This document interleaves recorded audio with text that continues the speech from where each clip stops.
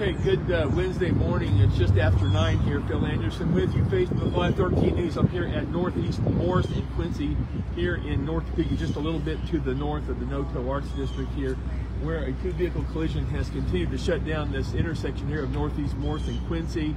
As you know, uh, when you come across the Kansas Avenue Bridge up here, Kansas Avenue actually, uh, that bridge, the Kansas Avenue Bridge turns into Quincy. So if you're coming over, you're going to see that the officers up ahead are blocking the street and you're going to have to divert if you're coming down here uh, to the north off the bridge. Meanwhile, um, you have uh, eastbound traffic on Morris also uh, diverted over here to uh, southbound Quincy right now, and so getting ready to the car. Now we had a maroon Dodge Grand Caravan. It was already towed from the scene just about two minutes ago. Had a lot of front end damage, and now they're getting ready to tow the blue uh, Honda CRV that's over here, right behind us here on the curb. Let's get a better look here. Uh, so I'll turn the camera around and let's flip it right now. So you see right now again.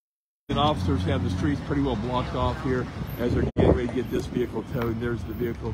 We're going to get that vehicle out of the way here. We'll have more for you on this here in just a little bit. Reporting again now from North Topeka the Phil Anderson Facebook Live 13 News.